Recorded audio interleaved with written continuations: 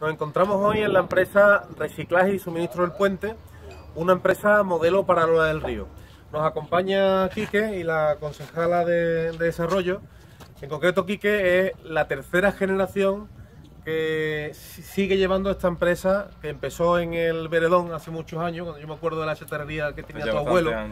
Y empezaron con una chatarrería en el, en el Vereón. Después su padre continuó con este, con este proyecto aquí, donde tenían más terreno y ahora se incorpora a esta generación pues la energía de la gente joven como Enrique. Hoy por hoy es un ejemplo de empresa que ha sabido diversificar los riesgos, una empresa que no solo ha pasado de ser una chatarrería convencional, sino a un centro de reciclaje donde, como veis, reciclan toda la chatarra que tenemos detrás, son capaces de desmontar los coches que entran en este, en este reciclaje para venderlos por piezas y separar los diferentes materiales, aprovechando así a salvaguardar el medio ambiente y también, como no, han sabido diversificar en cuanto a las actividades.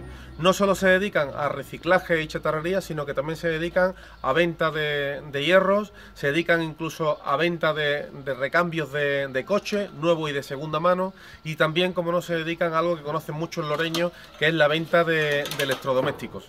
Y seguramente en todo esto me habéis dejado alguna faceta de la empresa atrás, ¿no, Enrique? No, de momento lo ha cogido todo. Con, mucho ánimo, con mucho ánimo coge esta este testigo que te deja tu abuelo y tu padre, ¿verdad? Sí, bastante. Enrique o Quique es un, ejemplo de, de, Loreño, un ejemplo de superación en la que va a poner su buen hacer en seguir esa trayectoria empresarial que empezó su abuelo, continuó su padre y que ahora pues Quique está al pie del cañón pues llevando esta empresa adelante. Hay que felicitarlos porque ha sido propuesta de Quique el, el que esta empresa recientemente haya hecho una inversión de un millón de euros para comprar una máquina compactadora de, chatarra que va a facilitar el que eh, esta chatarra que vemos aquí, que recibimos de diferentes pueblos de la, comarca de, la Vega del Guadalquivir, pueda incluso llegar a exportarse.